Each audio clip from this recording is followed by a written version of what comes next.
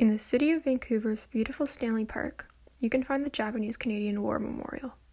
This memorial is dedicated to the Japanese Canadian soldiers who served their country by fighting in the First World War.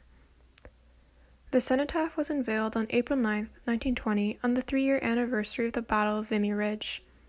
Designed by James Anderson Benzie and funded by the Japanese Canadian community, the memorial's main components are a 34 foot tall white limestone pillar a large circular base, and a lantern at the top. The design is a blend of Western and Japanese architecture styles. The pillar is a distinctly European fluted column, while the lantern at the top resembles a Japanese pagoda lantern. The different styles complement each other and fuse seamlessly, representing the merging of these two cultures in our country. The lantern is a symbol of the unification between Japan and Canada, who were allies in the First World War. At the base of the column, there is a plaque inscribed with the names of those who fell in the line of duty.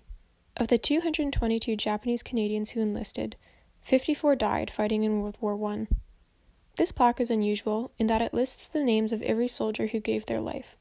Unlike many other memorials that are dedicated to nameless or unknown soldiers, this memorial recognizes each man as an individual.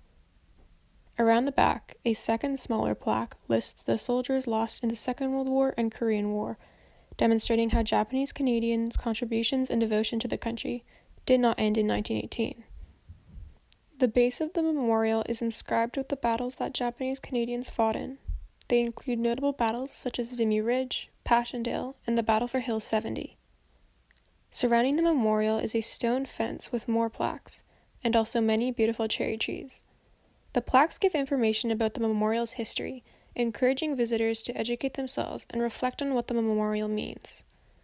The first of the cherry trees were planted the year the memorial was erected in 1920. More cherry trees were planted in 1925 and again in 1932. Cherry blossoms hold great symbolic meaning in Japanese culture. The practice of hanami, or watching the cherry blossoms, occurs every April when the flowers peak. Their primary significance is a metaphor for the transient and ephemeral nature of life the meaning of the cherry blossoms, can be tied to the remembrance of the 54 young men who died fighting in the war. Their lives were short, but still beautiful and worthy of recognition. While the memorial is an inspiring testament to the courage and resilience of the Japanese Canadian volunteers, it is also tied to a darker part of Canadian history. One of the driving factors behind Japanese Canadian enlistment in the war was the disenfranchisement of their community. At that time, no Asian Canadians could vote in BC. The volunteers hoped that through military service they could obtain the right to vote. When BC recruitment centers turned them away on racial grounds, they refused to give up, and over 160 men traveled to Alberta where they successfully enlisted. After the war ended, the Japanese Canadian veterans campaigned for the enfranchisement of the Japanese Canadian community. Their growing movement was halted by the advance of the Second World War, which saw 22,000 Japanese Canadians arrested and detained in internment camps. The memorial's lantern was extinguished on December 16, 1941. This act was a physical representation of the country turning its back on Japanese Canadians.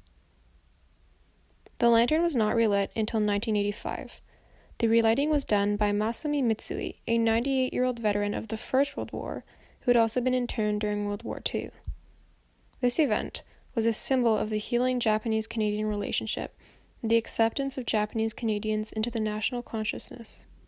The history of the Japanese Canadian War Memorial makes it a complicated symbol for the Japanese Canadian community.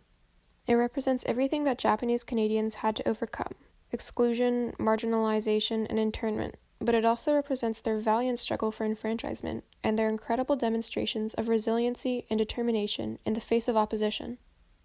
The memorial's relative obscurity in Canadian history is unfortunate, as it deserves more recognition, and it is an important reminder of the diversity that has always existed in our country.